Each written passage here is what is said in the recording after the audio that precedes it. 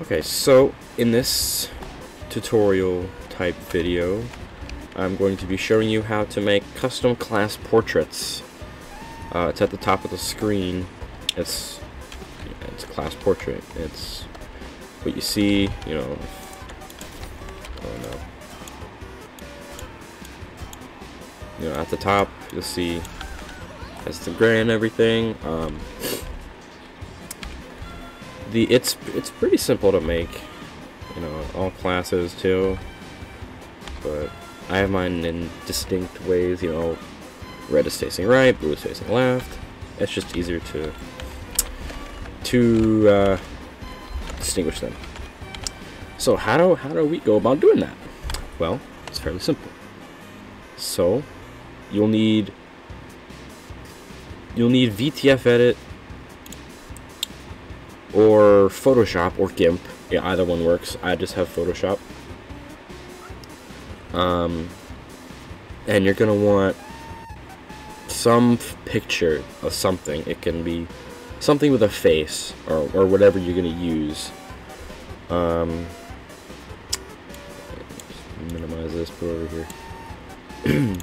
and it's gonna have to be in a 1024 by 1024 so I'll just pick something out real quick.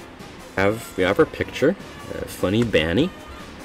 But first, you want to go into your custom folder and make. If you don't have a custom folder, just go to your TF folder, uh, right click, new folder, nip custom folder. It doesn't matter what it's called. I just called it improved class portraits. Doesn't have to be what doesn't have to be that exactly.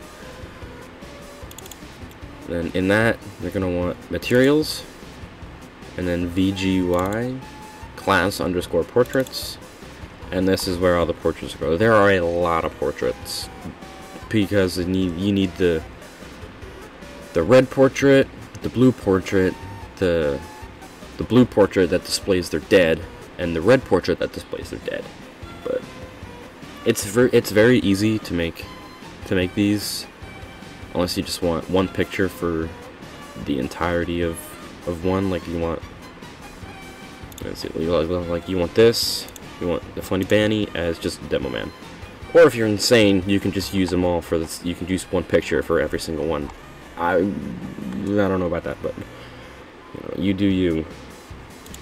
Okay so we have our picture here. We have funny Banny we're gonna go to file say I should also mention that when choosing a picture, you should really go for just just the face. Like you don't have to like you don't have to really do this if you don't want to, but it doesn't really, you know.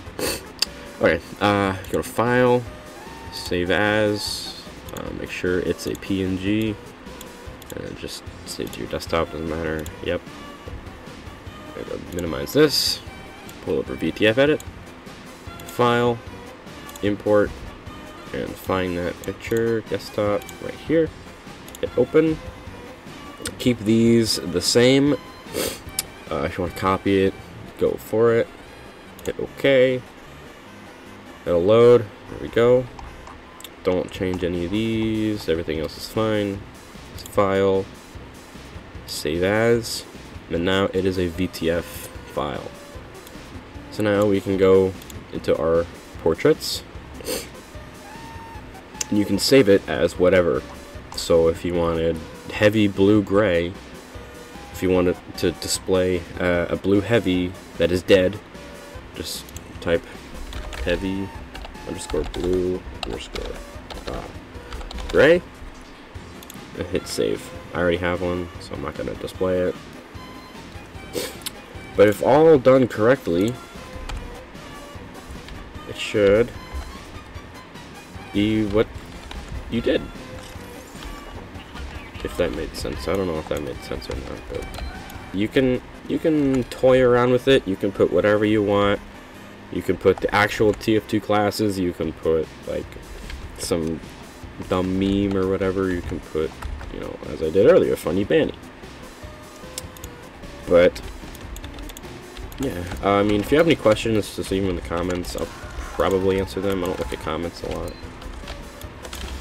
But